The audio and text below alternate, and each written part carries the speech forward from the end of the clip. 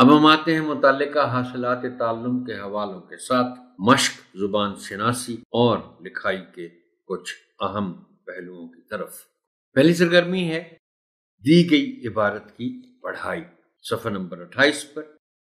हासिल ताल्लुम इसका है कि तलबा मतन को तफहीम, दुरुस्त तलफ़ और अदाई से पढ़ सके। आप पहले इबारत तलबा से पढ़वाएँ और फिर उनकी रवानी तलफ़ और ज़ेर बम की असलाह करें। आखिर में खुद पढ़कर सुनाएँ। ये मुख्तसर सी इबारत मैं पढ़ के सुना देता हूँ। बारिश का नन्हा कतरा बादल से टपका। जब उसने समंदर की चौड़ाई देखी तो शर्मिंदा हुआ और दिल में कहा कि समंदर के सामने मेरी हैसियत ही क्या है? इसके होते हुए तो मैं ना होने के बराबर हूँ।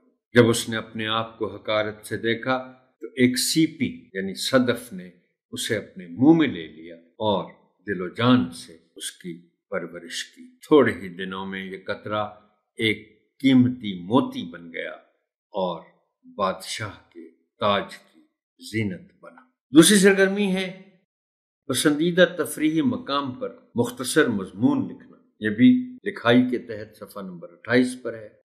हासिल ताल्लुम इसका है कि तलबा किसी उनवान पर दस से पंद्रह जुमलों पर मुश्तमिल कहानी या मजमून लिख सके। आप पेशतरस्के के तलबा मजमून लिखें। आप उन्हें ज़रूरी रहनुमाई फराहम करें कि वो अपने मजमून में तफरी मकाम के बारे में क्या क्या शामिल करेंगे।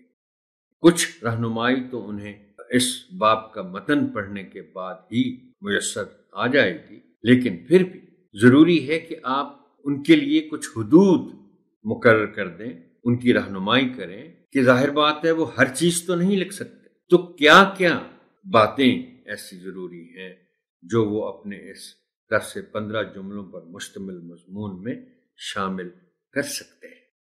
ये सेशन यहाँ तक ही। मोहतरम टीचर, आपकी समात का शुक्रिया। अल्लाह हाफिज।